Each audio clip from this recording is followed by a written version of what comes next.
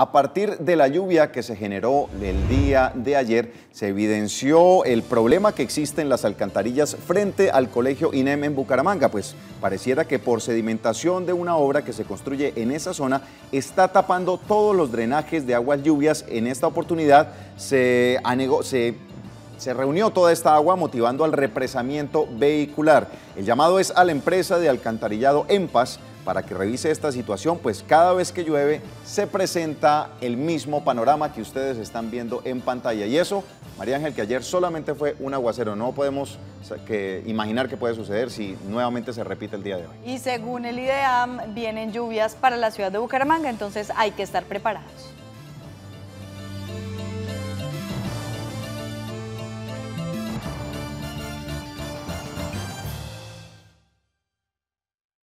canaltro.com